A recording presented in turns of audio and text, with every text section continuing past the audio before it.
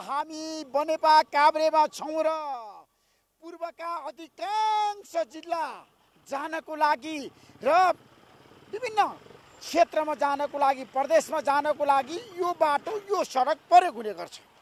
तर यो सडक किन पिच भएन? अहिलेसम्म यो सडकमा किन कालेपत्र भएन? के कारणले पिच भएन? हामी यसबारेमा आज चर्चा गर्न चाहन्छौँ। सडकको अवस्था तपाईँलाई देखाउन चाहन्छौँ र देशका अधिकांश गाडीहरू मध्यमार्ग जोड्ने गाडीहरू र पूर्वका हरेक जिल्लामा जाने गाडीहरू यही सडकबाट हिँड्छन्। त्यसैले आज हामी यसबारेमा चर्चा गरिराखेका छौँ। यहाँको अवस्थाको बारेमा तपाईँलाई देखाइराखेका छौँ र सडकको अवस्थाको बारेमा तपाईँलाई हामीले देखाइरहँदाखेरि हाम्रो देशको सरकारलाई प्रश्न सोध्न चाहन्छौँ जनतालाई समस्या छ सकस छ तर पनि सडकहरू किन समयमा पिच हुँदैन? यो सडक पिच नहुँदाखेरि धेरै चाहिँ पीडा जनताले भोगिरहेका छन्। त्यसैले आज हामी हाम्रो देशको सडकको अवस्थाको बारेमा तपाईँलाई देखाउन चाहन्छौँ र म सरकारलाई भन्न चाहन्छु। हाम्रो देशको सरकारलाई प्रधानमन्त्रीलाई म भन्न चाहन्छु। प्रधानमन्त्री यो सडक हेर्नुहोस् यस्तो अवस्था छ। किन यति महत्त्वपूर्ण सडकमा पिच हुन सकेन? किन कालोपत्री हुन सकेन? किन यो खाल्टा खुल्टी पुरिन सकेन? हामी यसबारेमा आज चर्चा गरिराखेका छौँ। र सडक मर्मतको कुरा गर्दाखेरि सडकको समस्याको कुरा गर्दाखेरि सडकहरू किन समयमा पिच हुँदैन? किन ठेकदारहरूले सडक पिच गर्न चाहँदैनन्? अथवा किन ठेकदारहरूलाई कारवाही गर्न राज्य संयन्त्र असफल भइराखेको छ? किन भौतिपूर्धार मन्त्रीको ध्यान गएन? देवेन्द्र दाहालको किन सहरी विकास मन्त्रीको ध्यान गएन? यतातिर यो सडक बनाउनको लागि यो सडक किन पिच भएन? त्यसैले आज हामी एउटा अभियानमा छौँ र हाम्रो देशको मूल सडकहरू किन बन्दैन किन लत्थालिङ्ग छ किन सडकमा धेरै खाल्टा खुल्टी छ समस्या छ? हामी तपाईँलाई देखाउन चाहन्छौँ देशको अहिलेको यो सडकको अवस्था हामीले देखाइरहँदाखेरि यो सडकमा गाडी चलाउनेहरू के भन्नुहुन्छ? तपाईँहरू के भन्नुहुन्छ? एकदम बिग्रेको छ सडक। खतमै छ। बाटो एकदम खत्तम छ साह्रै दुःख हुन्छ। यात्रीलाई त साह्रै ढाड दुख्ने घर पुगेपछि त ढाड दुख्ने खुट्टा दुख्ने के के के हो के के हो धेरै गाह्रो छ धेरै गाह्रो छ, धेरै गाह्रो धेरै छ। गाह्रो छ। यात्रुलाई पनि गाह्रो छ उम्,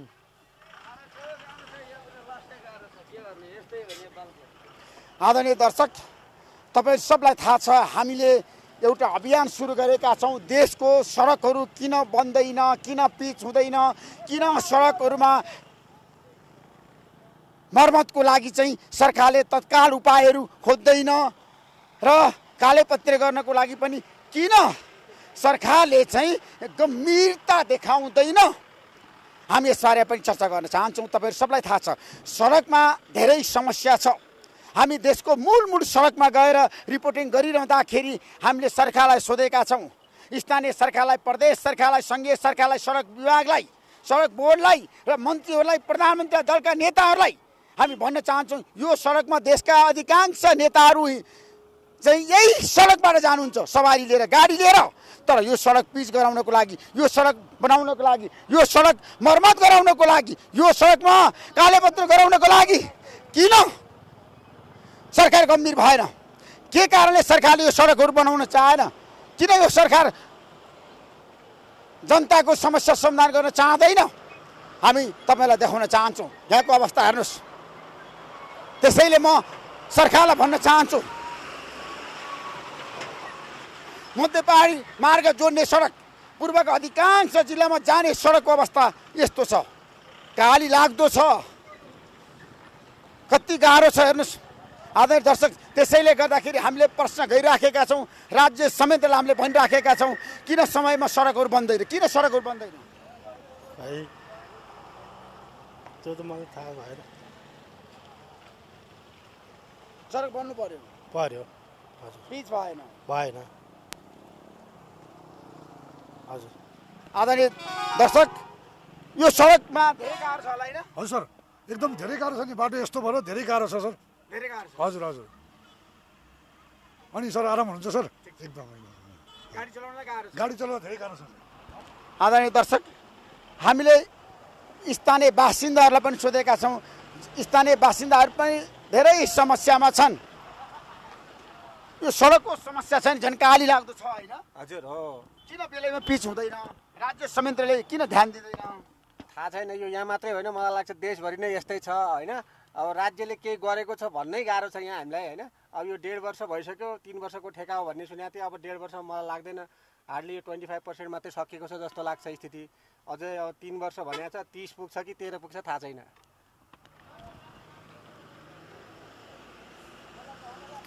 त्यसैले हामीले यो सडकहरू किन पिच हुन सकेन? जनता जान्न चाहन्छन्। यो सधैँ हामीले चाहिँ यसरी हिलोमै हिँड्नुपर्ने हो।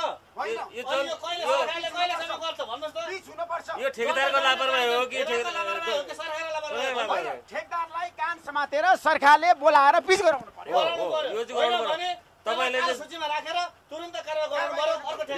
जोड्दै कुरा उठाउनु पर्यो। उठाउनु पर्यो ऋषिजीले यो कुरा चाहिँ सरकारसम्म पुर्याउनु पर्यो है त। हुन्छ। साह्रै अप्ठ्यारो एकदम। ठेकदारले किन काम गर्दैन? ठेकदारले किन समयमा काम गर्दैन? ठेकदारले किन समयमा सडकहरू पिच गर्दैन? किन सडकको खाल्टाखुल्टी पुर्नको लागि सरकारले निर्देशन दिँदैन? त्यसैले आज हामी यो सडकको अवस्थाको दुरवस्थाको बारेमा चर्चा गरिराखेका छौँ। तपाईँहरू सबलाई थाहा छ मुड सडकहरू देशको मुख्य सडकहरू अवस्था यस्तो छ। र यो सडकमा गाडी कुदाउँदाखेरि कति पीडा कति शास्ति खेप्नु परेको छ हामी यसबारे पनि चर्चा गर्न चाहन्छौँ। कस्तो छ अवस्था? अवस्था एकदम नाजुक छ नाजुक। नाजुक छ नाजुक। नाजुक छ एकदम नाजुक। एकदम गाह्रो छ हेर्नुहोस् त बाटोको ताल। जहाँ जहाँ अगाडि हिलो ठुलो धुवा धुवा एकदम नाजुक छ। हस् त। आदरणीय दर्शक तपाईँहरू सबलाई थाहा छ। सडकहरू एकदम गाह्रो भयो। बाटो यो बाटो बनाउनु पर्यो छिटो भन्दा राम्रो छ अब अलिक छिटो बनाइदियो हुन्थ्यो है। धेरै गाह्रो भयो। ठुलो गाडीसम्मलाई गाह्रो छ यो बाटो। सबैलाई गाह्रो। छ। सबैलाई एकदम। गाह्रो।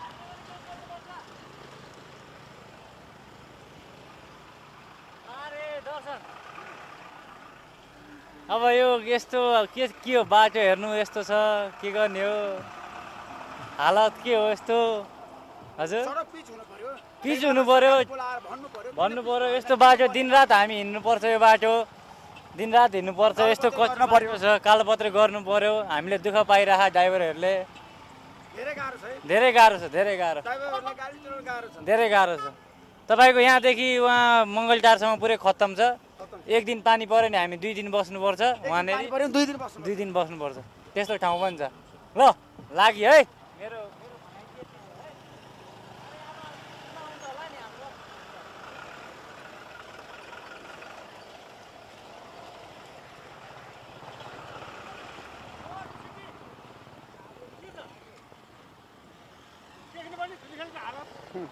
हामी यो सडक छिटो पिच हुनुपर्छ सरकारले ध्यान दिनुपर्छ भनेर आएको छौँ। छिटो पिच हुनु पर्यो क्या सर। यो भएन। किनभने यो जहिले आउँदा पनि यस्तै भइरहन्छ हामी शास्ति भोगिरहेछौँ होइन। यो चाहिँ सरकारले चाहिँ चाँडोभन्दा चाँडो यो बाटो चाहिँ मर्मत गर्नु पर्यो बिपिआइपी चाहिँ। धेरै भइसक्यो यो। जनताहरू धेरै शास्ति ल म पनि अहिले आउँदैछु एक घन्टाभन्दा बढी लागिसक्यो त्यहाँ ऋषिजी अझ तपाईँले त अस्ति धुलीखेल पनि आउनु भने त्यो तल खावाको? हो त्यसमा पनि लाउनु पर्यो। थ- तर यो ठुलो प्रोजेक्ट हो होइन। गर्नु त धेरै समय त लाग्छ होइन। तर पनि धेरै समय भयो। भयो त गर्नु पर्यो। अनि ऋषिजी के छ हालखबर अरू? सडकहरू पिच हुनु पर्यो। तपाईँले म पुतली सडकमा भेट्नु त कमलगानी ठाउँमा अहिले यो बाटो एकदम धेरै अवस्था भइसक्यो। बर्खा पानी परे बेला त यो बाटो पुरै जामै हो। दुईतर्फ बाटै भन्दा गाडी लिएर हिँड्नै सकिँदैन होइन। यो धेरै बाटोले गर्दा धेरै शास्ति भोग्नु परिरहेको सबैले। लाएर आएको ठुलो समस्यामा समस्या। लाएर आएको लुगा त तपाईँको यहाँ अठाइस किलो बनेर पुग्दाखेरि केही पनि हुँदैन। ढिलामै धुलामै भएर होइन एकदम बिजोग हुन्छ अवस्था। त्यस्तो अवस्था। छ है त्यस्तो अवस्था। कस्तो छ? बाटोको अवस्था बिजोग छ नि हजुर। बिजोग छ है? बिजोग छ नि। गाह्रो छ। हिँड्दैलाई धेरै बिजोग छ त। यो त अझ कम यताको त। यो त कम हो। उतातिर हेर्न जानु न। है जाँदैछौँ हामी। धेरै बिजोग धेरै बिजोग छ यहाँ। मिस्त्रीहरूलाई पनि काम गर्न बिजोग बाटो नभएर तनाव गाडीहरू लड्छ। लड्छ मान्छे। झन् त्यो त पाँच खालको बाटो खत्तम छ। यता पनि झन् काम लाग्ने बाटो दुईतिरै खत्तम छ। दुईतिर यता पनि हेर्नु न आधी यता काम गर्छ आधी उता काम गर्छ। सधैँ एक नास कामै गर्दैन यिनीहरू के? कहिले उता खनेर बिगार्छ कहिले उता बिगार्छ कहिले हाम्रै बाटो बिगारिदिन्छ। काम गर्नलाई पठाएर छ मिस्त्री यस्तो तनाव बनाइदिएछ हेर्नुहोस् बाहिरबाट आएर यहाँ भाडा तिरेर बसे मान्छेलाई तनाव भइसक्यो। के भन्नु अब तपाईँलाई? धन्यवाद। ठिकै छ। बाटो बनिरहेछ बनिरहेछ काम हुँदैछ। गर्नु पर्यो। छिटो गर्नु पर्यो। होइन सकेसम्म यो सजिलोसँग गर्नु पर्यो।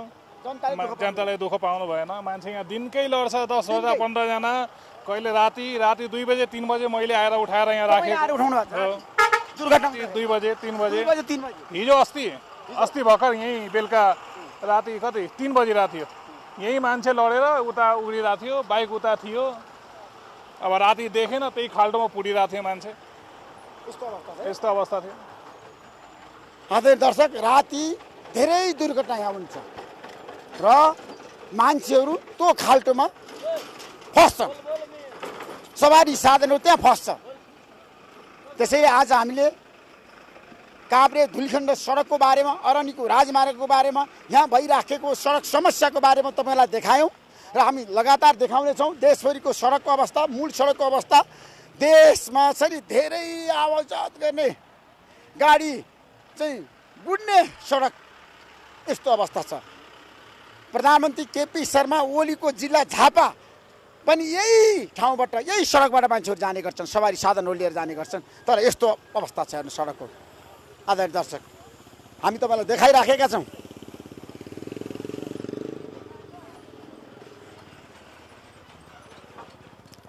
त्यसैले यो सडक किन पिच भएन?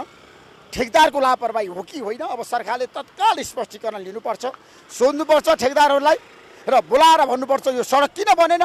किन पिच भएन? किन खाल्टा खुल्टी पिरिएन?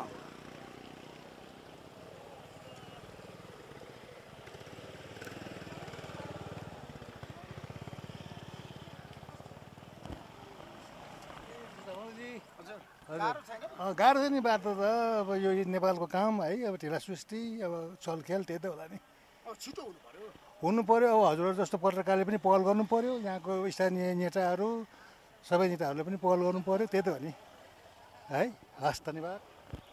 आदरणीय दर्शक आज हामीले यो देशको मूल सडकहरूको अवस्थाको बारेमा पूर्व जाने खास गरी कोशी जाने मध्य प्रदेश जाने यात्रीहरूले प्रयोग गर्ने यो सडकको दुरवस्थाको बारेमा देखाइराखेका छौँ।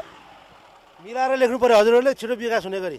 छिटो छिटो हुनु पर्यो। अँ, छिटो हुनु पऱ्यो जसरी हामी हामी सर्वसाधारणले चाहिँ तपाईँको चाहिँ छिटो चाहिँ सुख पाउनु पऱ्यो जनताको भनाइ छ राम्रो सडक बनाइदेऊ र राम्रो सडकमा हामीले गाडी गुडाउन पाऊँ। हामी यो अभियान लगातार जारी राख्नेछौँ। केही समय हामी लिन्छौँ।